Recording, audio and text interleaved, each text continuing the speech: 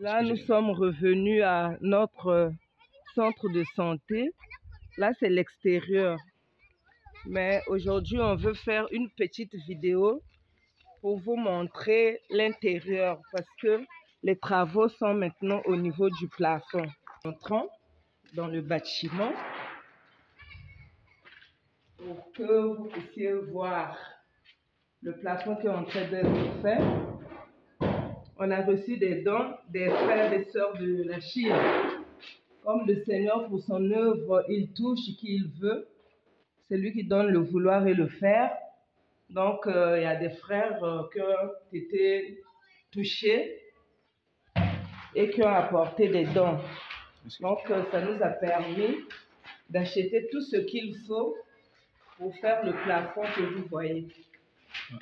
Donc là, c'est le plafond.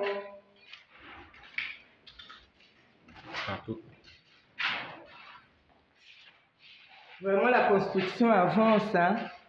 C'est vrai que le Seigneur, ce qu'il commence, il achève. Lui qui est le maître de l'ouvrage, il est en train de pourvoir.